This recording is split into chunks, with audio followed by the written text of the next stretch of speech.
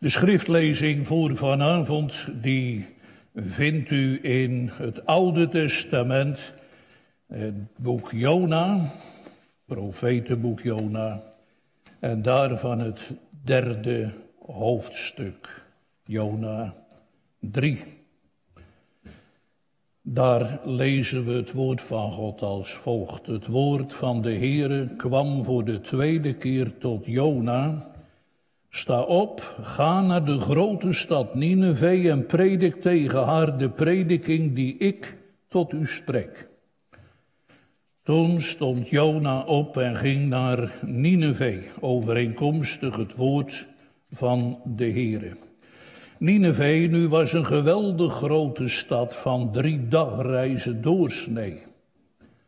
En Jona begon de stad in te gaan, één dagreis. Hij predikte en zei, nog veertig dagen en Nineveh zal ondersteboven gekeerd. De mensen van Nineveh geloofden in God. Ze riepen een vasten uit en trokken rouwgewaden aan, van de grootste tot de kleinste onder hen. Toen dat woord de koning van Nineveh bereikte, stond hij op van zijn troon, legde zijn statiegewaad af, hulde zich in een rouwgewaad en ging in het stof zitten. En in Nineveh werd op bevel van de koning en zijn rijksgenoten omgeroepen, mens en dier, runderen en schapen mogen niets eten, niet grazen en geen water drinken. Mens en dier moeten in rouwgewaden gehuld zijn en met kracht tot God roepen. Ze moeten zich bekeren, ieder van zijn slechte weg en van het geweld dat aan hun handen kleeft. Wie weet zal God zich omkeren, berouw hebben en zijn brandende toren laten varen, zodat we niet omkomen. Toen zag God wat ze deden, dat ze zich bekeerden van hun slechte weg. En God kreeg berouw over dat kwade dat hij gezegd had hun te zullen aandoen. En hij deed het niet. Tot zover de schriftlezing. Gemeente, ik zou vanavond, misschien dat u wel een beetje in die richting hebt zitten denken, maar ik zou vanavond wat willen stilstaan, niet alleen bij de schrift, maar ook bij het feit dat God me al vijftig jaar lang in het ambt heeft gespaard. En ik noemde dat al even in het gebed. Het gevaar is altijd groot bij zulke gelegenheden dat je over de mens gaat praten. En dan komt hij in het middelpunt te staan. Maar dat mag niet. Nee. Preken horen te gaan over de Here, niet over de mens.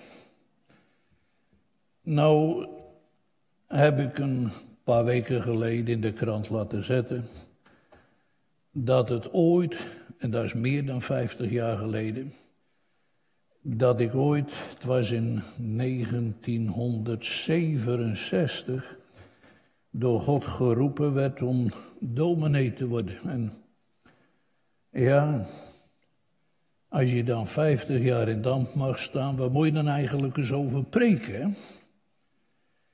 Ik kwam toen terecht bij de tekst waar een al lang overleden dominee in der tijd over preekte en waardoor God me tot dit ambt riep. Die man die preekt over Jona. Nou, vanavond hoop ik over diezelfde verse te preken waar hij in der tijd over gepreekt heeft. En dat is vers 1 en 2 van Jona 3, dus het begin van de schriftlezing van de even. Jona 3, de eerste twee verzen. En daar staat dan te lezen. Het woord van de Heere kwam voor de tweede keer tot Jona. Sta op, ga naar de grote stad Nineveh en predik tegen haar de prediking die ik tot u spreek. Gemeente, we gaan zoals de tekst ook eigenlijk aangeeft, we gaan kijken vanavond naar die grote stad Nineveh. En eh, dat zou ik dan willen doen aan de hand van zes punten. Het eerste punt noem ik De opdracht voor Nineveh was ondoenlijk. Tweede punt. De roepstemmen voor Nineveh waren weinig. Derde punt, de prediking voor Nineveh was beperkt. Vierde punt, de profeet voor Nineveh was slecht. Vijfde, de hoop voor Nineveh was minimaal. En tenslotte het zesde punt, de toekomst voor Nineveh was zeker. Ik zal straks de preek die punten telkens wel noemen. U zult ze vast niet kunnen onthouden, dat kan ik ook niet. Maar dat geeft niet. Uh, straks na het slot van de preek, na het amen aan het eind van de preek, zingen uit Psalm 138. En daar van het derde vers, dan zingen zij in God verblijd aan hem gewijd van wegen. 138 is dat het derde vers. Zullen we dat na de preek zingen zonder verdere aankondiging? 138 vers 3. Gemeente, we gaan vanavond kijken naar Nineveh. En een eerste punt, dat noem ik dan de opdracht voor Nineveh, was ondoenlijk. We weten denk ik allemaal wel, zoals we hier in de kerk zitten en meeluisteren thuis, dat de naam van de profeet Jona onlosmakelijk verbonden is geweest aan de stad Nineveh. Want daar in Nineveh heeft die man gepreekt. En wat misschien nog meer zegt, alleen in Nineveh heeft Jona gepreekt. Dus, dus die man die heeft niet staan preken in Jeruzalem. En ook niet in Samaria.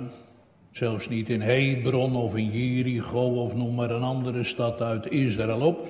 Nee, de stem van de profeet Jona heeft alleen maar geklonken in de straten, op de pleinen van die enorme, die heidense stad Nineveh. Nou moeten we zeggen, wij weten natuurlijk vanuit de Bijbel wel een paar dingen over die stad.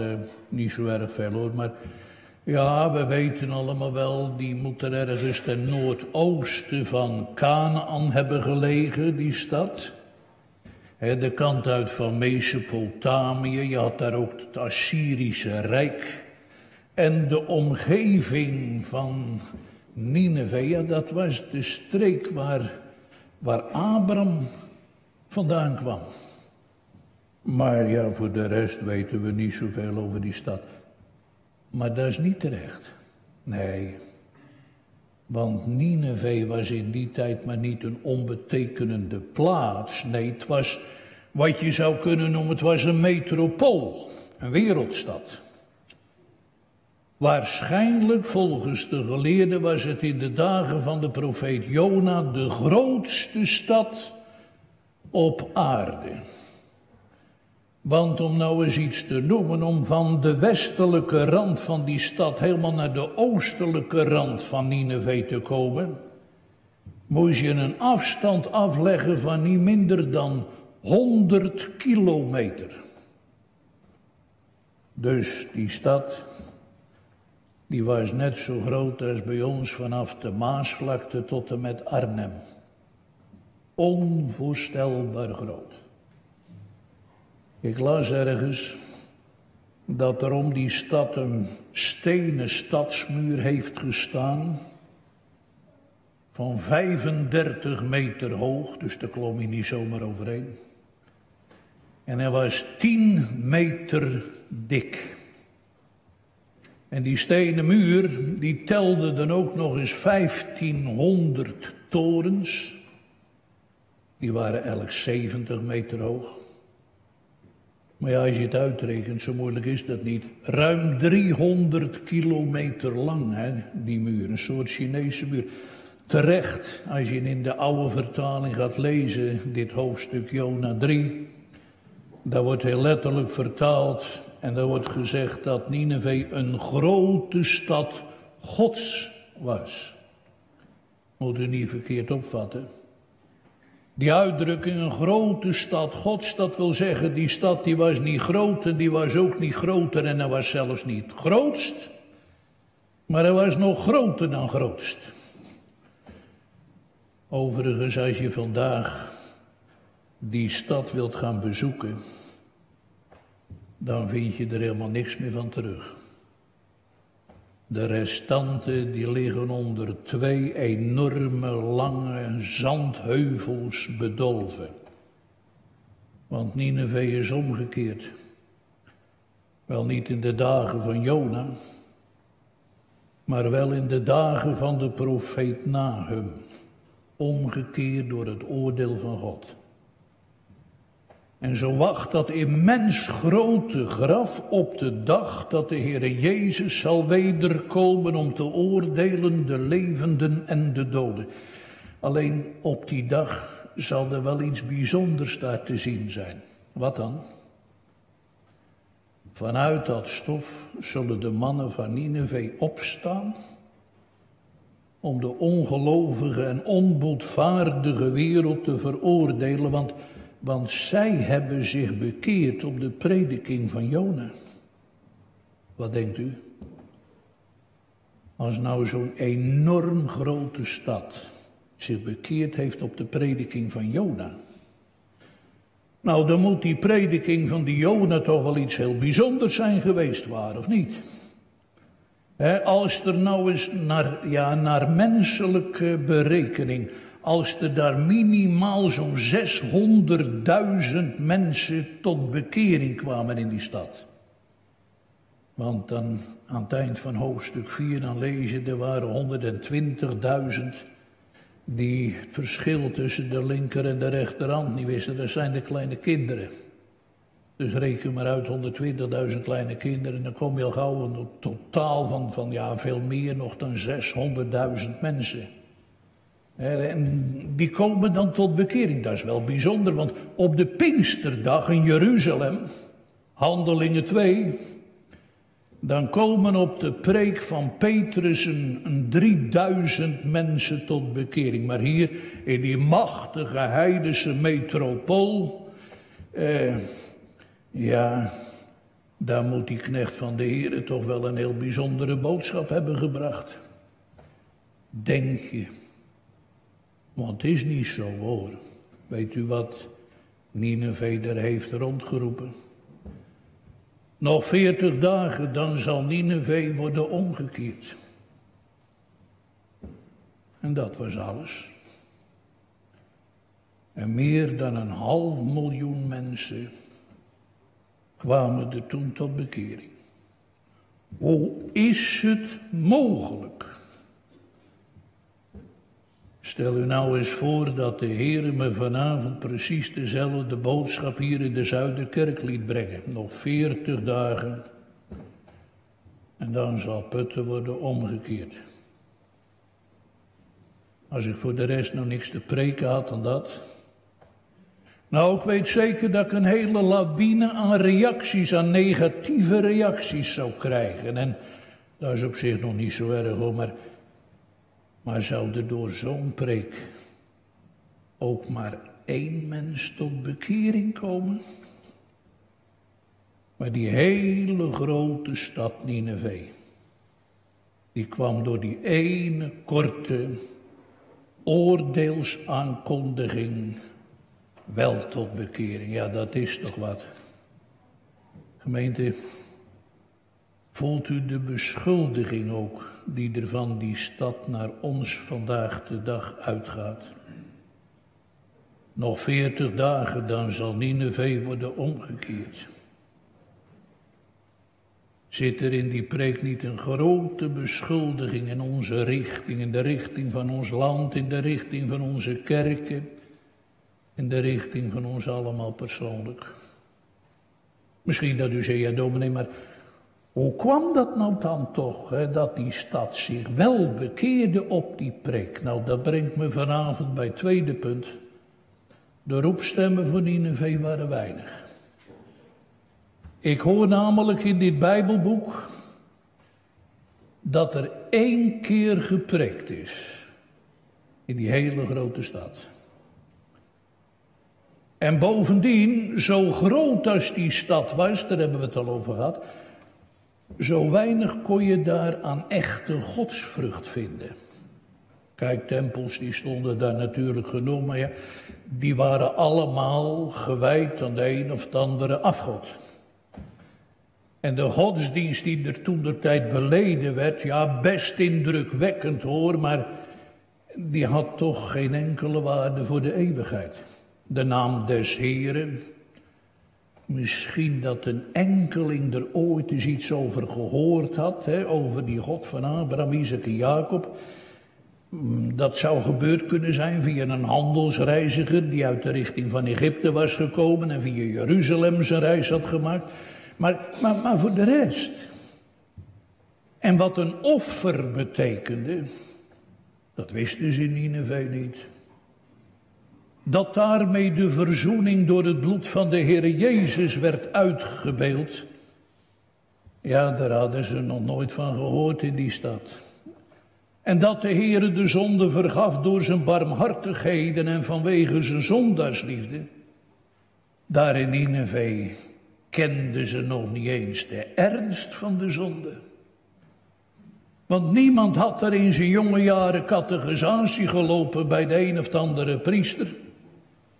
En er was geen, geen mens die ooit had gesproken in een tempel over de zonde en de vergeving. Die, die mensen die leefden wel met een of andere godsdienst, maar ze leefden volslagen met de duisternis van hun verdorven hart. En de roepstem van God, die hadden ze er eeuwenlang nog nooit gehoord. En dan moet je zeggen, wat hebben wij dan een voorrecht, waar of niet? Want week aan week mag het evangelie nog gepreekt worden. Als je in Nederland gaat rondkijken, dan moet je zeggen, bijna elk dorp, hoe klein ook, dat heeft nog wel ergens één kerkgebouw staan. Maar daar in Nineveh, een stad van de Maasvlakte tot en met Arnhem, daar was niet één kerk te vinden. En toch heeft die stad zich bekeerd tot de Here. Een enorme aanklacht tegen ons gemeente, want hoe vaak zijn wij nou al in ons leven gewaarschuwd en hoe lang weten we al dat de onrechtvaardige zijn straf echt niet zal mislopen en misschien bent u er nog nooit echt van geschrokken. En is dat hart van ons nog altijd onbewogen gebleven trouwens? Als ik vanavond nog een beetje verder ga rondkijken in die grote stad Nineveh, dan moet ik zeggen, die hele stad, daar hebben de mensen maar het geluid van één profeet gehoord. Jona. Alleen Jona. Voor hem was er geen profeet daar naartoe gestuurd door de Heer en na hem ook niet meer. Eén profeet. Dat was alles. En die ene profeet, dat was geen Daniel hoor. En ook niet een Elisa. Nee, dat was Jona. Dat wil zeggen, die man was geen geweldige kanselredenaar en het was ook geen eikenboom der gerechtigheid. Van nee, kijk, als de Heer nou eens een Jeremia naar Nineveh had gestuurd, dat was natuurlijk wel iets bijzonders geweest. Maar Jona, Stel u nou eens voor dat de Heere Elia naar deze stad gezonden had. En dat die godsgezant in het centrum van de stad, zeg maar op het grote plein daar, in zijn eentje tegenover al die afgodspriesters had gestaan en dan vuur van de hemel had afgesmeekt. Dat zou natuurlijk wel indruk hebben gemaakt. Of wanneer een profeet Jezaja, een man die tot het uiterste altijd bewogen was met het lot van mensen, met de zielen van mensen, dus ook met het lot van zo'n grote wereldstad. Als die de mensen daar gebeden, gesmeekt zou hebben om zich te bekeren, als hij de mensen erop gewezen had dat, dat de arm des Heren altijd nog niet verkort was en dat er bij de allerhoogste gedachten des vredes waren.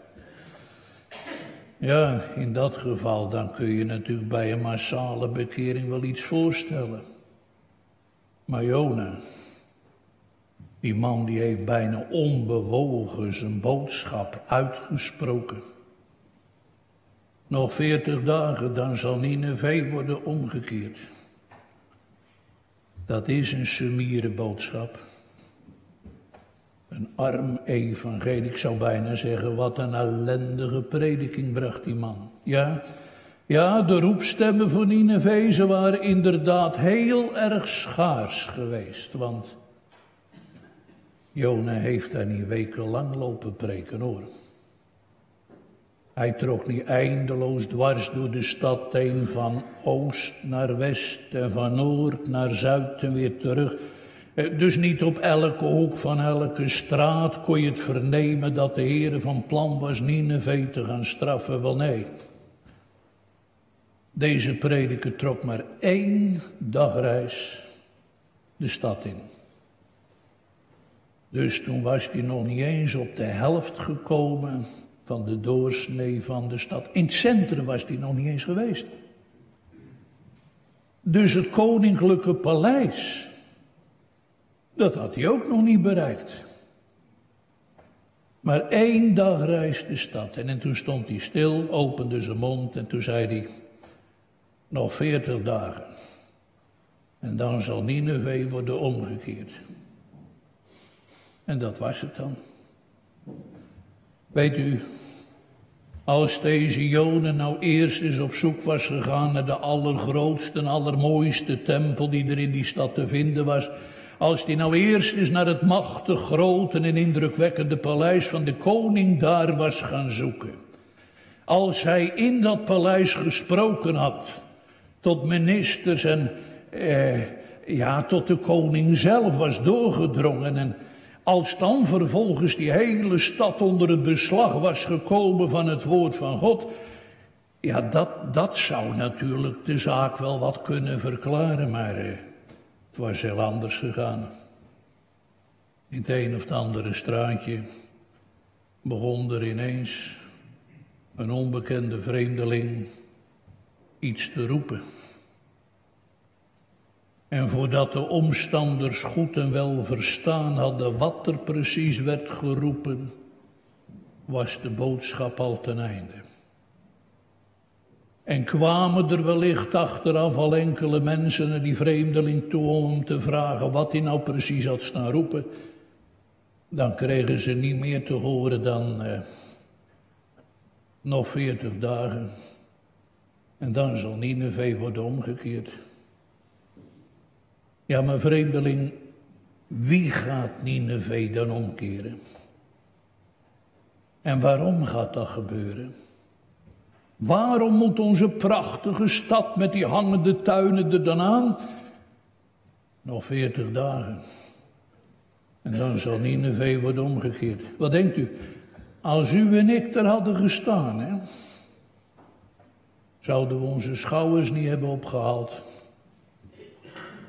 zouden we niet hebben gedacht, nou, die man is vast niet helemaal goed bij zijn hoofd hoor. Nee, als wij geraakt, echt diep geraakt willen worden door een preek, ja, dan moet er toch nog wel wat anders gebeuren, waar of niet? Wij zijn niet zo gauw tevreden. als een preek te eentonig wordt gebracht, dan haken we na een minuut of tien al af en als ze tegen zitten, vallen we ook nog in slaap. Als een preek te lang is, dan moet hij toch nodig een stuk korter. En als die te kort is, moet hij echt wat langer. En vaak krijgen we het nog precies zoals we het graag zouden willen hebben. Maar, maar eh, hebt u zich nou al bekeerd? Dat is de vraag. De mannen van Nineveh, die zullen eenmaal opstaan in het oordeel. Zij hebben zich bekeerd. En wel meteen na die eerste roepstem. Want ja, veertig dagen, zei Jona. Je kunt zeggen veertig dagen, dat is toch wel erg kort. Voor een echte bekering, dus niet zo lang. Hè? 40 dagen moet toch zoveel veranderen in een mensenleven, zoveel de deur uit. En 40 dagen. Je kunt ook zeggen, dat is de andere kant van het verhaal, het is nog behoorlijk lang. Want 40 dagen is toch bijna zes weken. Ja, dat is waar, maar pas nou wel goed op. Want als morgen de dokter u komt vertellen dat u nog een goede maand te leven hebt, dan schrikt u toch wel erg. Ja, en misschien hebben u geen dag meer te leven. En dan toch rustig zo verder gaan. Wat denkt u, is dit allemaal niet een geweldige aanklacht tegen ons? Legt dit onze zelfgenoegzaamheid niet bloot?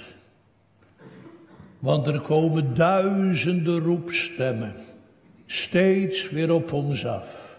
Maar wie buigt er nou echt voor God en wie vernedert zich voor de Heer? Dat brengt me tegelijk bij ons derde punt. De prediking voor Nineveh was beperkt. Nog veertig dagen dan zal Nineveh worden omgekeerd. Dat was de preek van Jona. En je moet zeggen, het was een preek die weinig bemoedigends had. Want alleen de ondergang werd aangekondigd, meer niet. Weet u wat wij van zo'n preek zouden zeggen? dat er toch wel heel wat in die preek werd gemist. Want de liefelijke tonen van het blijde evangelie, die kon je er echt niet in horen hoor. En, en, en er, was, er zat ook niks van een belofte in hè. Het had niks van de blijde boodschap. Het waren alleen maar wat sombere tonen. En als je goed luisterde, dan hoorde je de eisen van de wet en van het oordeel. Nog veertig dagen, dan zal Nineveh worden omgekeerd. Omgekeerd.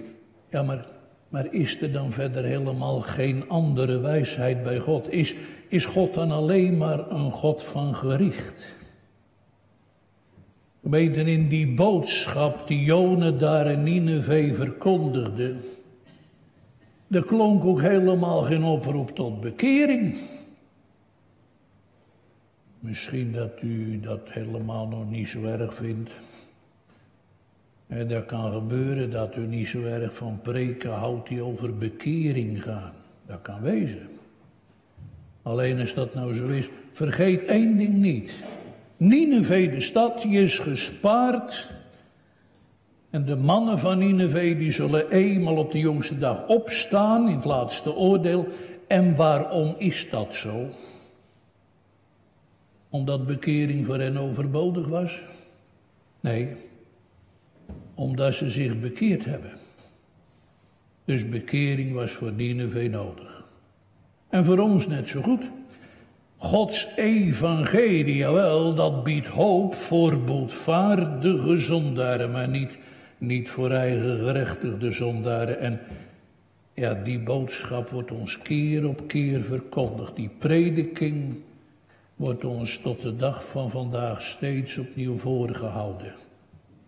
Nineveh niet. Daar wisten die mensen helemaal niks van bekering af. En toch hebben ze zich bekeerd. De koning voorop. Wat een aanklacht die waar. Iemand zou zeggen, ja maar, dominee, hoe komt het nou? Wij weten zoveel meer dan die mensen daar en toen.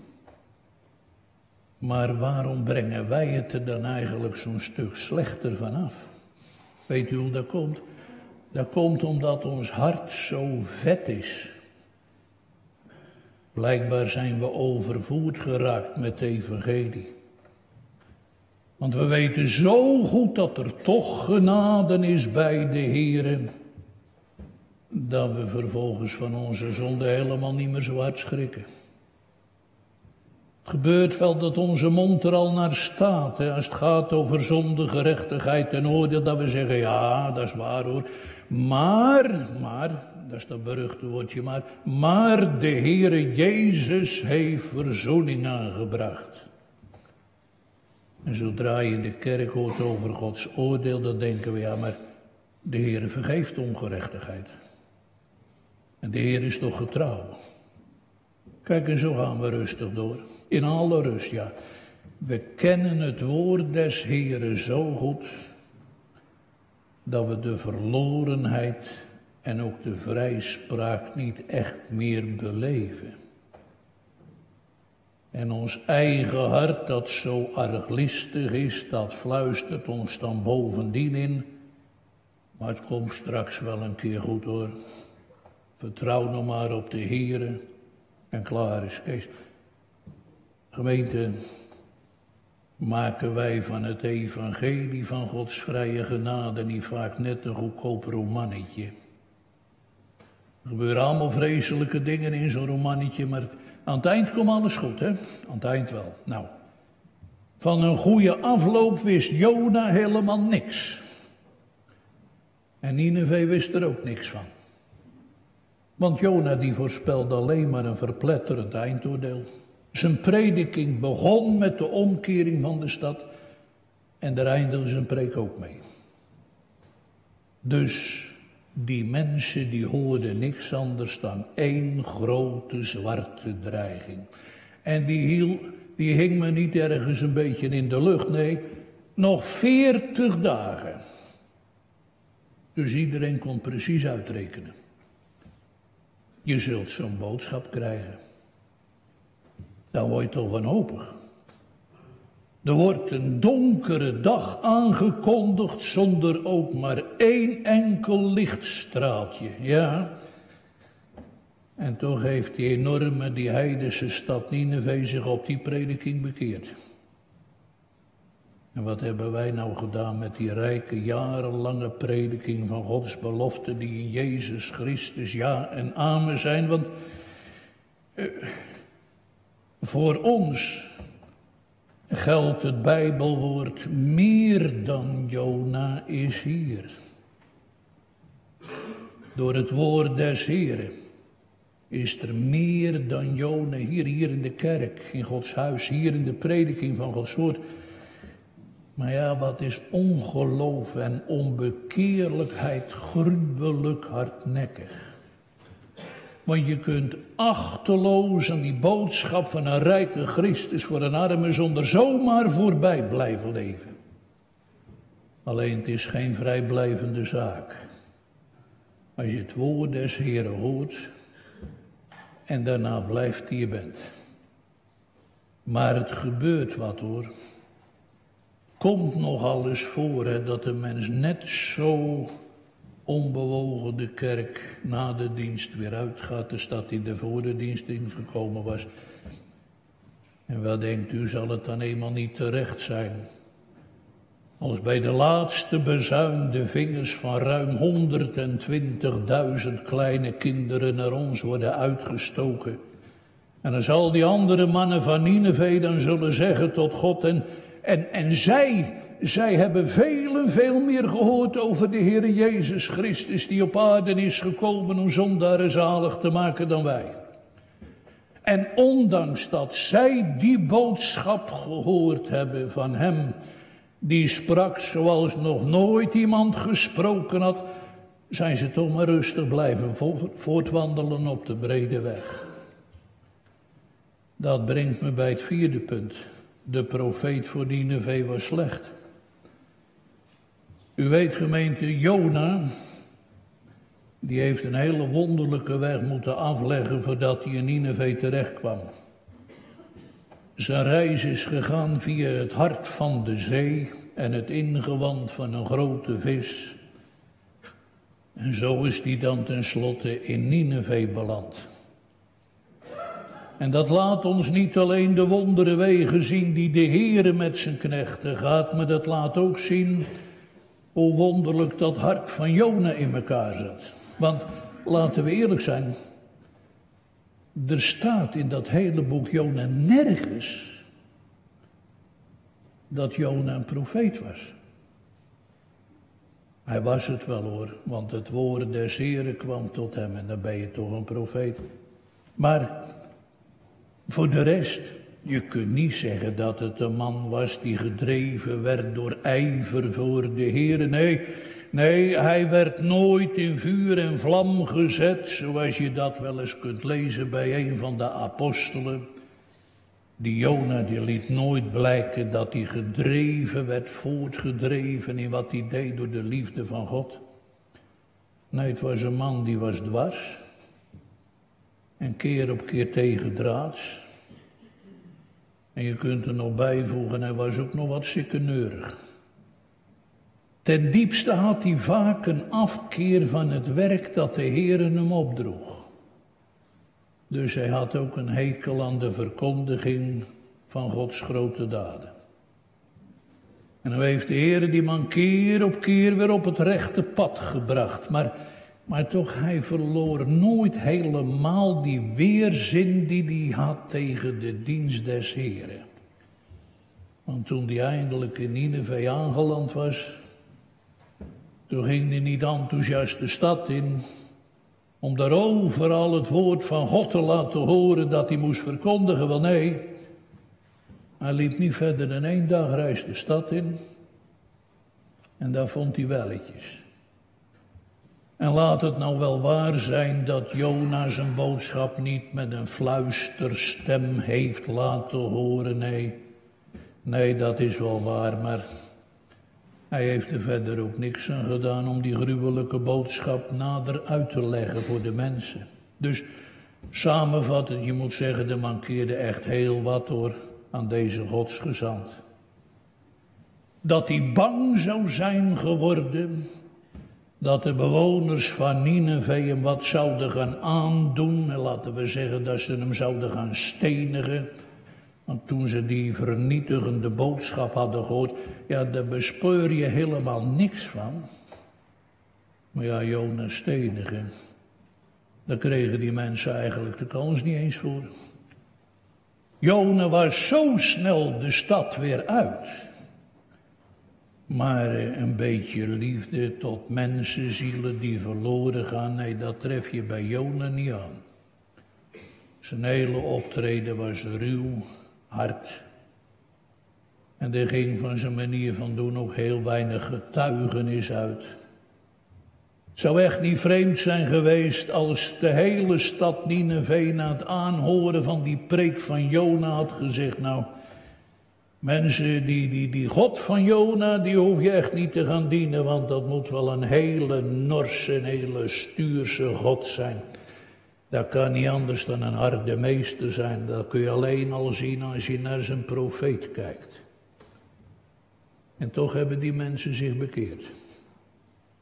Dat Jona buitengewoon kort van stof was, daar hebben we het al over gehad, maar het blijkt bovendien ook nog heel duidelijk uit het gebed van Jona. U zult misschien zeggen het gebed van Jona. Maar dat gebed van Jona, dat zat toch uitstekend in elkaar. Dat is een heel ontroerend, zelfs een aangrijpend gebed. Dat is dat gebed dat Jona tot de hemel heeft opgezonden vanuit het ingewand van die vis. Dat gebed, dat was in één woord toch een schitterend gebed. Ja, inderdaad. Dat kun je rustig zo stellen, gemeente. Dat was dat gebed, dat was één grote lofzang op Gods grote werken. Alleen dat gebed bedoel ik niet. Ik bedoel dat gebed dat Jona gebeden heeft in Nineveh. En dan zult u zeggen, welk gebed heeft Jona dan in Nineveh geboden, gebeden? Want daar lees ik helemaal niks van. Nee, ik ook niet.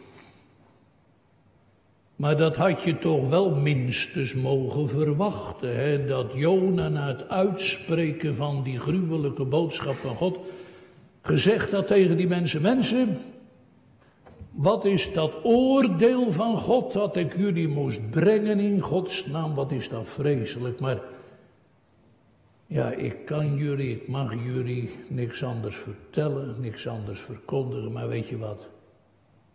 Laten we nou eerst de grote naam van die God is met z'n allen gaan aanroepen. Ja, maar dat deed Jona niet. Zelfs tegen de koning, toen Joon in het paleis van die koning kwam, heeft die man van God niet gezegd: Koning, bid u nou alstublieft voor uw onderdanen en houd dan in die gebeden aan hoor, bij de genadetroon van God.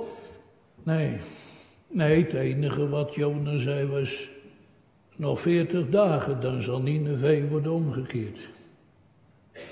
En zonder verder nog iets te zeggen, liep deze man zo de stad weer uit. Is dat nou een herder voor zijn schapen?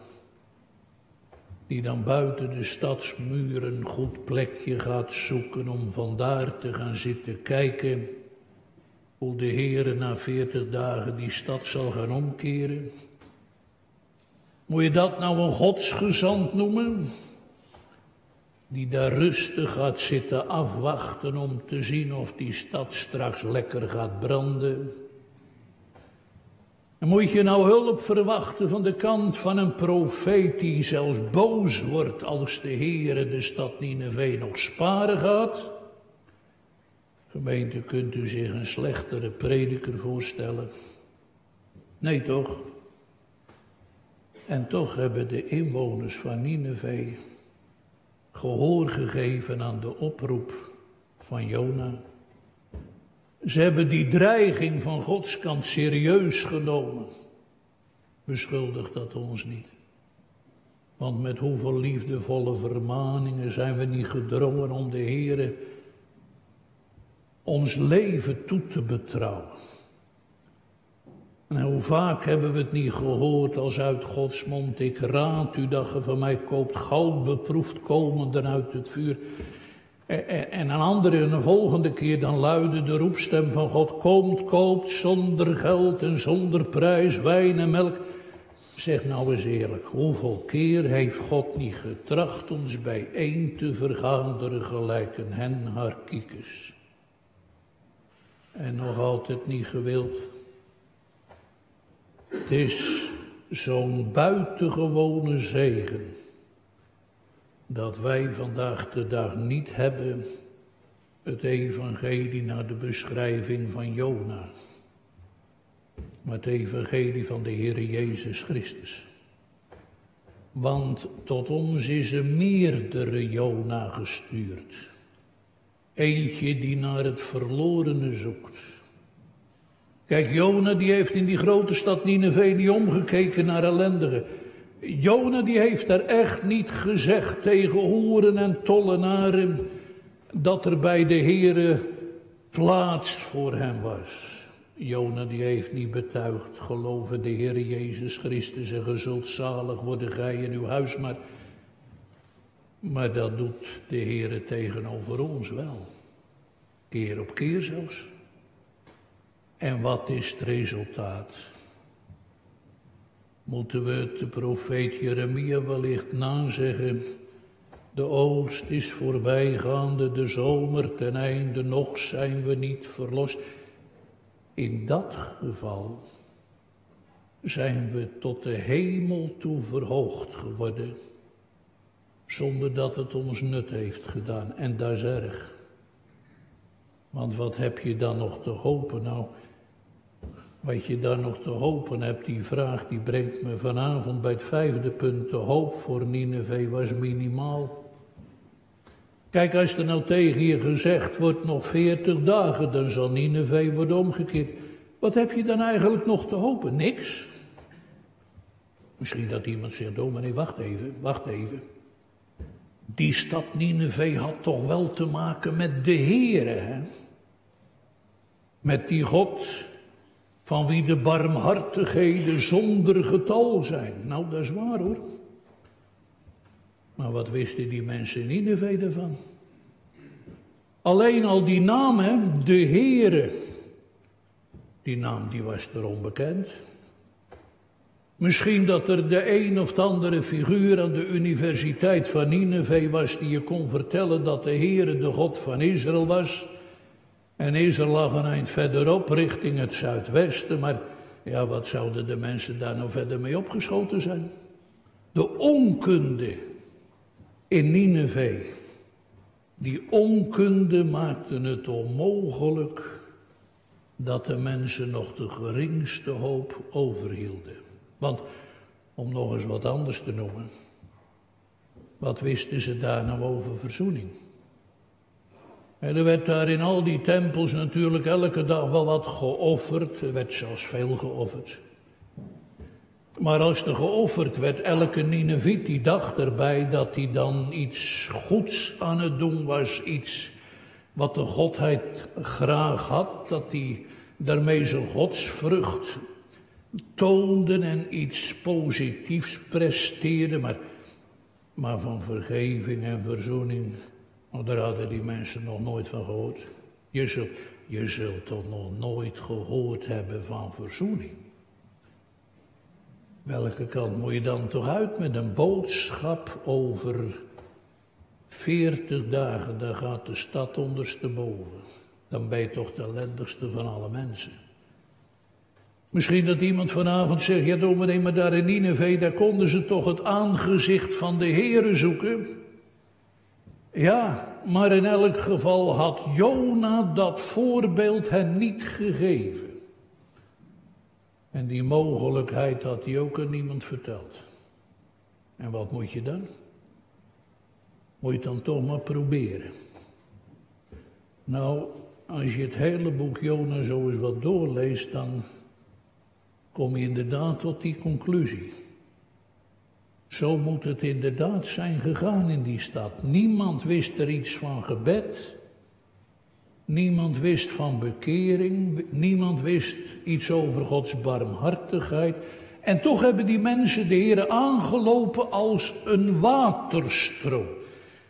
Wellicht klinkt het u raar in de oren, gemeente, maar Weet u waarom die koning uit Nineveh bevel liet uitgaan dat alles en iedereen moest gaan vasten en bidden en rouw bedrijven?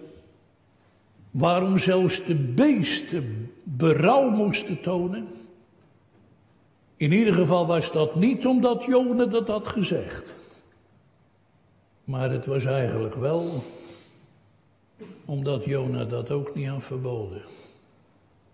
En dat was hun enige houvast. Jona had ook niet gezegd dat ze zich niet moesten bekeren.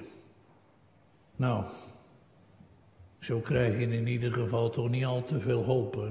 Trouwens, die weinige hoop, die hoor je ook duidelijk doorklinken in de woorden die de koning van Nineveh toevoegde aan zijn bevel en al zijn onderdanen om te gaan vasten en om te gaan bidden. Want wat zegt die man dan?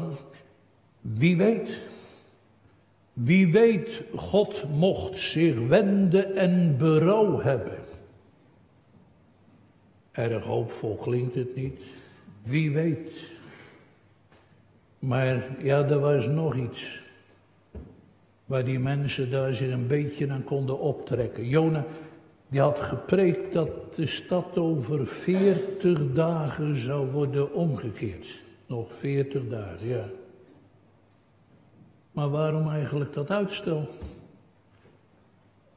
Waarom maakt de Heer niet meteen een eind met die hele stad? Waarom heeft God nog zoveel geduld met de Ninevieten? Zou er dan ergens toch nog een mogelijkheid zijn om behouden te worden? Laten we het maar proberen of er bij de Almachtige nog gedachten des vredes zijn. Daar zei die koning. En er kwam nog iets anders bij.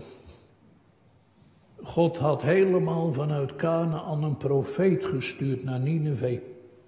Waarom eigenlijk? Ja, goede vraag, waarom? De Heer had toch ook zonder maar één enkel woord te spreken die hele stad kunnen wegvagen? Gemeente, wat denkt u? Waarom laat de Heer ons vanavond nog een preek horen? Misschien dat u denkt, nou ja, je weet nooit wat goed voor is. Misschien word ik nog wel gegrepen door het woord van God. Misschien gaat God me nog een keer bekeren. Daar is toch altijd kans op? Ja, wie weet. Alleen, hebt u nou echt niet meer hoop dan dat? Weet u over de Heere dan niks meer dan die heidense mensen daar in Nineveh? Hebt u daar niet veel veel meer kennis over de Heere en de weg ter zaligheid? U hoeft Nineveh toch niet na te doen met die woorden, wie weet wel. Nee, Wel nee, wij weten. Wij weten. En dat brengt me dan bij ons laatste, het zesde punt. De toekomst voor Nineveh is zeker. Wij weten, wat weten we dan? Nou, om ergens mee te beginnen, wij weten bijvoorbeeld niet alleen wat apostel Paulus ergens in een van zijn brieven gezegd en geschreven heeft over de wet van God. Wat is dat dan? Wij weten nu, schrijft Paulus dan, dat al wat de wet zegt, zij dat spreekt tot degenen die onder de wet zijn, opdat alle mond gestopt wordt en de gehele wereld voor God verdommelijk is. Dat weten we. En we kennen Gods wet. En daarbij weten we dan ook dat we niet verloren gaan over een dag of veertig, maar zelfs niet over veertig jaar. Maar dat we verloren liggen. Kijk, we hoeven niet meer verloren te gaan, dat zijn we al. Of weet gij niet, broeders, dat de wet heerst over de mens zo lange tijd als die leeft? Mag ik eens vragen, gemeente, weet u dat ook al? Weet u dat echt? Dat we een zondaren verloren liggen, dat we ellendig zijn. Dat wij mensen goddeloos zijn. In dat geval heb ik vanavond één boodschap voor u. Welke boodschap dan, dominee? De boodschap van Jona. Van Jona. Nee, niet de boodschap van Jona de profeet, maar de boodschap van de meerdere Jona. En die boodschap die luidt niet eh, nog veertig dagen, ook niet nog veertig jaar, zelfs niet nog veertig minuten. Maar die luidt heden, nu. Nu is het de wel aangename tijd, nu is het de dag der zaligheid. Want in de Heer Jezus Christus is er een eeuwig behoud. Want Hij staat nog altijd met uitgebreide armen gereed om mensen zalig te maken. Wie zalig te maken, dominee? Zondaren. En dat zijn mensen die moeten erkennen dat ze eigenlijk God niet vrezen. En dat ze hem ook niet kennen, niet echt kennen. En dat ze hem veel te weinig zoeken. En dat ze verloren zijn. Dat zijn goddeloze mensen.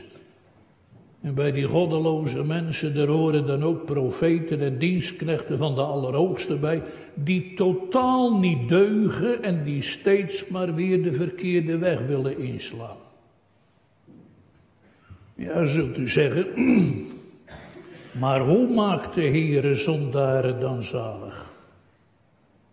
Hoe, dat heeft de heiland ons verteld toen hij op aarde was.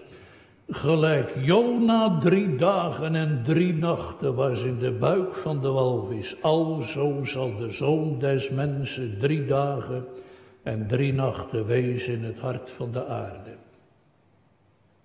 Die woorden die gaan duidelijk over het lijden van de Heer Jezus. Daarmee wordt verwezen naar de dood van de zaligmaker. Nou, zondaren worden alleen maar zalig door dat offer dat Christus heeft gebracht. En wie in hem gelooft, die ontvangt vergeving van al zijn ongerechtigheden. Die zal niet sterven, maar die zal leven, die zal eeuwig leven. Ja, zal iemand zeggen, dominee, dat is mooi, maar hoe krijg ik nou dat geloof? Hoe kom ik aan zo'n bekering zoals ze daar hadden in Nineveh? Nou, kijk nog eventjes terug naar Nineveh. Die stad die heeft zich bekeerd. Hoe kwamen die mensen eigenlijk aan hun bekering? Had Jona die bekeringen hen gegeven? Wel nee. De profeet had niet eens over bekering gesproken. Ja, maar hoe kwamen ze er dan aan? Heel eenvoudig, dat was het werk van God.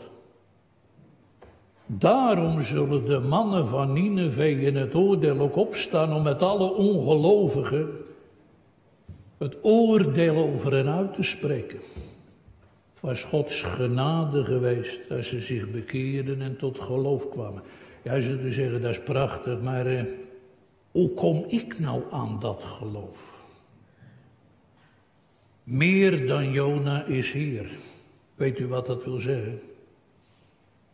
Als je na al uw zoeken in dit leven niks, maar dan ook helemaal niks en hoop meer overhoudt. En als je dan schuldig neerzit bij de puinhoop van een verzondigd leven. Als je zelfs dan niet meer bidden kunt. Ziet, Christus is meer, veel en veel meer dan Jona. Want hij is meer dan uw hart en hij is meer dan alle machten van de hel en hij is meer dan uw onwil en uw onkunde. Hij is meer dan al uw ongerechtigheden. Hij is meer dan uw biddeloosheid. Want bij hem is alle heil en alle gerechtigheid en alle heiligheid. Want in de Heer Jezus Christus is een volkomen verlossing. Ja, maar eh, zegt iemand, ik kan en ik durf eigenlijk, en als ik eerlijk ben, ik wil helemaal niet tot de Heer Jezus komen. Wat dan? Wat dan? Meer dan Jona is hier. Hij wil door zijn woord en geest u die onwil ombuigen. En dan zegt hij, en wie tot mij komt, die zal ik geen zins uitwerpen. Amen.